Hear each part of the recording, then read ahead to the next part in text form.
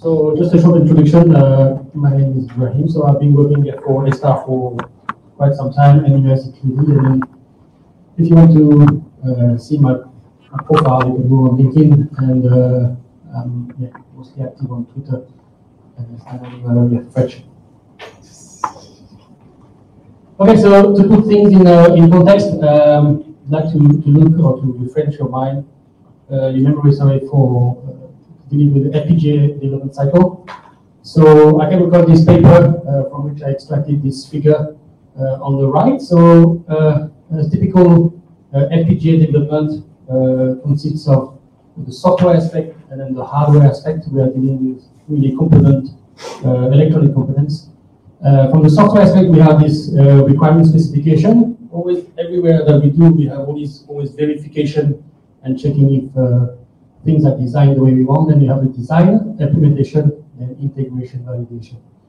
And then really, when you look at the software aspect of the tools, uh, we uh, look into the design specification. RTL is this uh, registered transfer level, which is basically designing circuit logic, digital circuit logic, uh, using the hardware description. I think uh, Joyce mentioned this earlier, using languages like uh, Verilog or VHDL. Then we move into uh, transformation to gate level design. This is the synthesis part.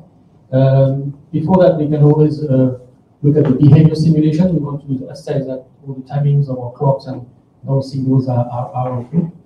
Uh, and then once we pass the uh, gate level design, we look into the we go into the, the layout, which is this uh, place and um, aspects. And this is really uh, choosing which FPGA we want to uh, implement the, the, the, thing into. And then afterwards, uh, we have uh, an FPGA bitstream, which is the file that is uh, sent to the FPGA to program the component.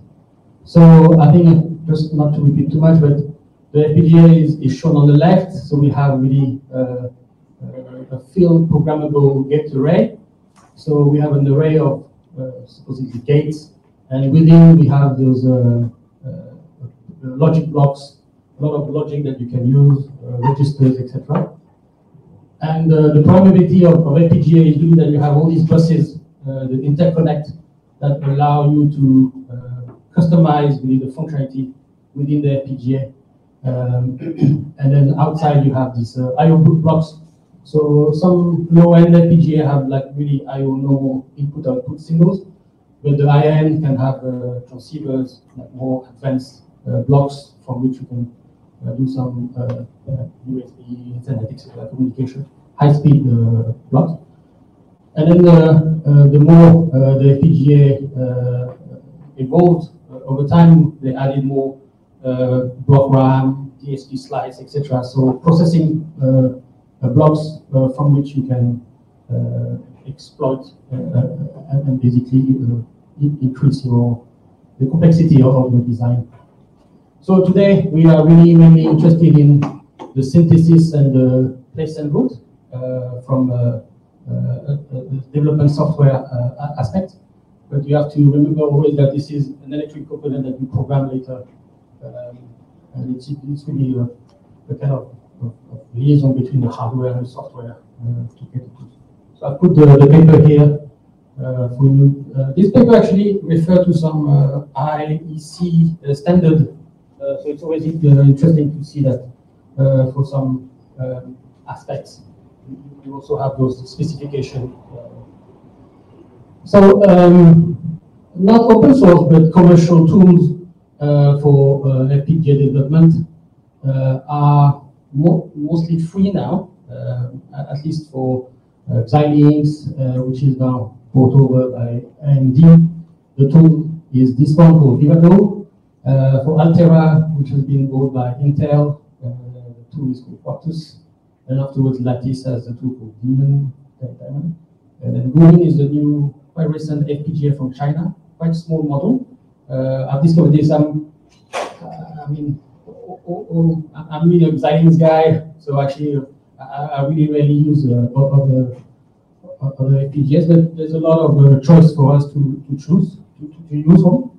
And then on the left, you can see the uh, simulation, uh, RTL analysis, and then this uh, synthesis uh, implementation, and then bitstream generation. So these are the standard tasks that those tools will will do for you. And in the middle, we have a VHDL code example. So FPGA programming is quite niche. It's not something that, that is really uh, as popular as C++ and software engineer. It's more electronic people moving into the programmable aspects, and then you have FPGA.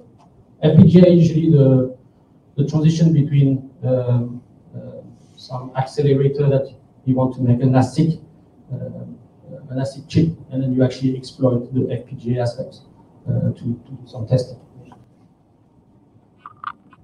So the focus of this this uh, talk is really uh, Yosys and next uh, PNR. Presented uh, part of it earlier. So uh, for me as a scientist, uh, it really come up from, from that uh, early paper 2018-2019, where they introduced this free and open software architecture. really architecture neutral because they want to, to really be as generic as possible. Um, and then they want to have this framework to have a flow uh, for the placement, routing, bitstream generation, etc. And the early stage uh, was really uh, from that paper using lattice and uh, small size FPGAs, the ICE uh, 40 and the lattice ECP5. Uh, these are really the low end, I would call low end, not as low quality, but really small resources uh, and really hobby kind of price uh, FPGAs. Um, and really this uh, this paper, I, I think, uh, a lot of hype and, and really uh, started really the, the, open source framework for, for FPGA development.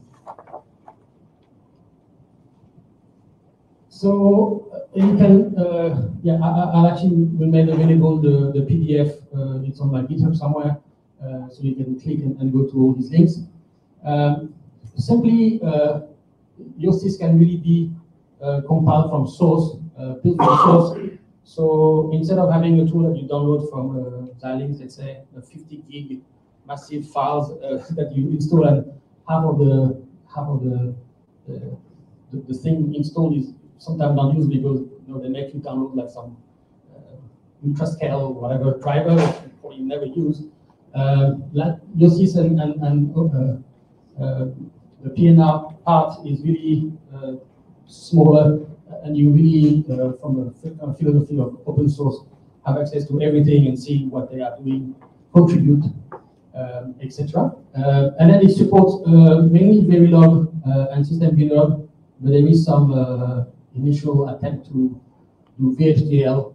Um, and additionally to this um, Yosys, uh, they have also some little project, additional project that kind of specialize. So for the famous one is Trellis, which is used for the lattice ECP5 uh, FPGAs. Uh, and then maybe also you'll talk later on uh, dealing with the RISC-V.